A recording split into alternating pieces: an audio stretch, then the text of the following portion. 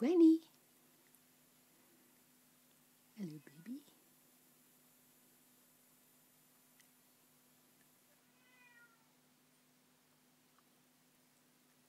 Who's that then, babies?